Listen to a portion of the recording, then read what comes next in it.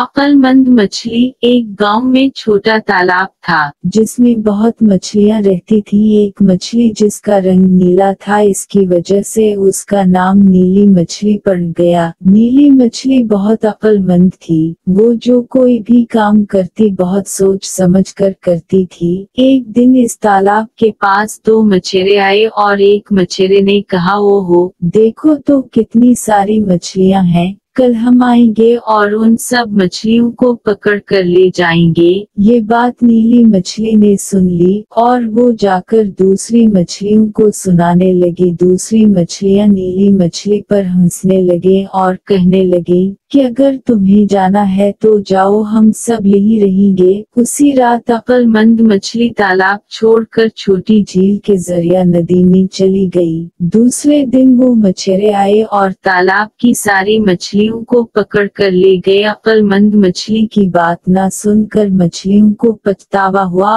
और इस तरह से अकलमंद मछली बच गई इसलिए बच्चों हमेशा अकल से काम लो